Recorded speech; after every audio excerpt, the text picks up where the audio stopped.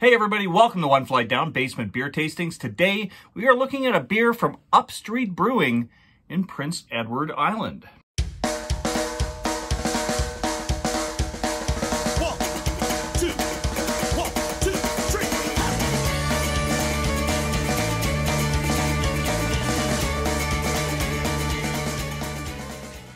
All right, so today's beer uh, comes to me courtesy of my friend KK, who uh, lives part of the year in um, in Prince Edward Island, and she came home with a bunch of beers for me. Uh, this first one is from Upstreet Brewing. It's a Pilsner Commons.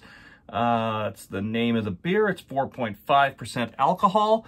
Um, I have featured Upstreet on the show before. I did, uh, they were part of my uh, pumpkin beer showdown back before Halloween. Uh, and they did a really nice pumpkin beer called the uh, Grave Digger. I don't think it made it to my final round, but it was a very, very good beer. Um, yeah, so that's I so that's the only other Upstreet Brewing uh, beer that I've had, but I'm excited to uh, dig into this. Uh, yeah, let's check this one out. I got, I don't know, kind of a plain Pilsnery kind of glass here. Pilsnery, is that a word? I don't know. Uh, this is pouring out nice and golden, just like a good Pilsner should. Uh, you know, it looks like a pretty typical beer. A lot of nice white head and some nice activity going on in the glass. Uh, let's check this out on the nose. Uh, yeah, Pilsners to me, I don't usually get a lot of uh, an odor out of them. Uh, it's just kind of a, yeah, it's a very basic, uh, basic North American beer kind of a smell. Uh, but let's uh, let's go in for a sip.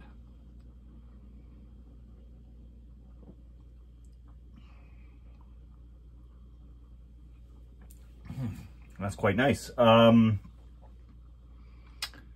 yeah, that's pretty good. It's got a very, very smooth uh, mouthfeel to it, uh, but you still get a good amount of that, that carbonation in the, the first initial sip, and there's a nice little bit of a hoppy bite.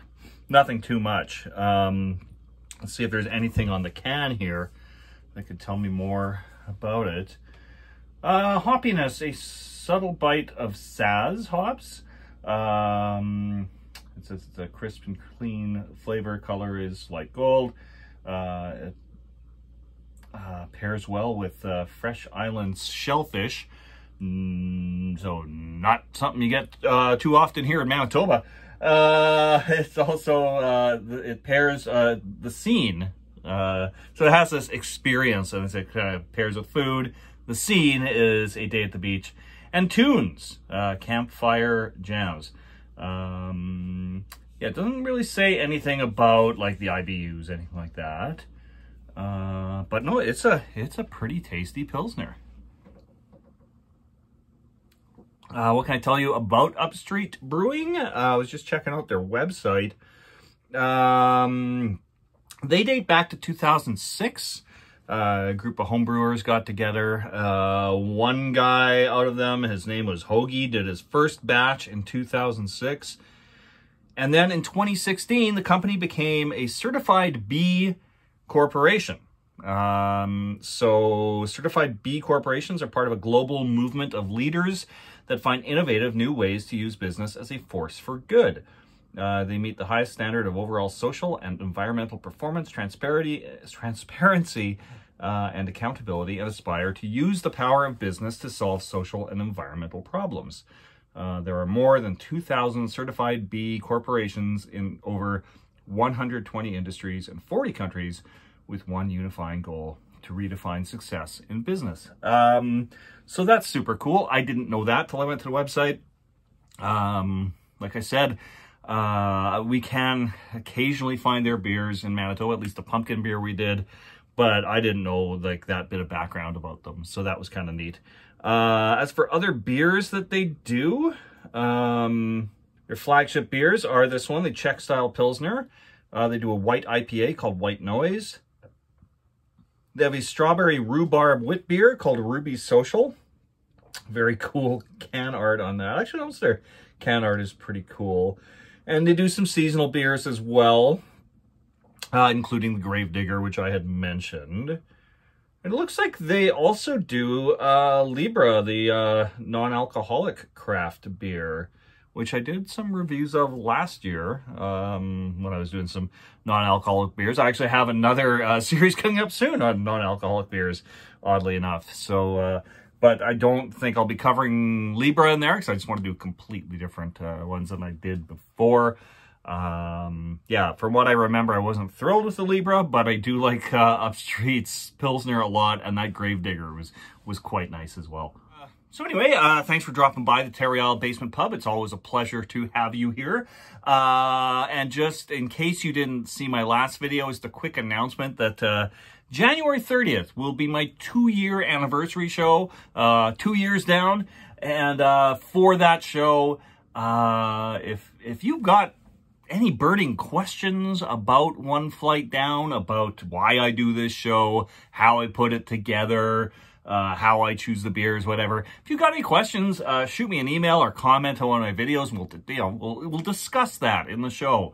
Um, and uh, if you feel like sending me a, uh, a, video greeting uh, like uh, we did last year, if you want to check out the last video I did, I, I kind of gave a hint of what some of that looked like. Ah, here it is. Here it is again.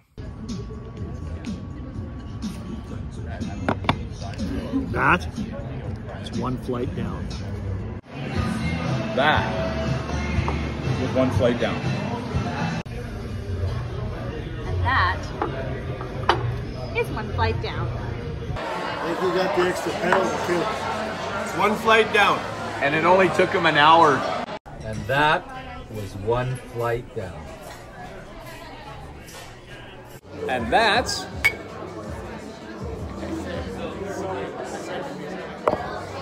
One flight down. And that is a one flight down shower curtain.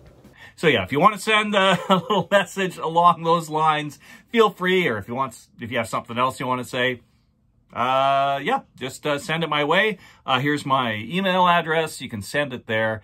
And uh, yeah, we'll uh, all be celebrating together on uh, Monday, January 30th. And we'll probably do it as a uh, premiere again, uh, like we did with It's One Flight Down Christmas. So we can, we can live chat while the video was happening. Uh, anyways, as I said, uh, thank you so much for dropping by the Terry Isle Basement Pub. And uh, we hope to see you all again here very, very soon. Cheers. Again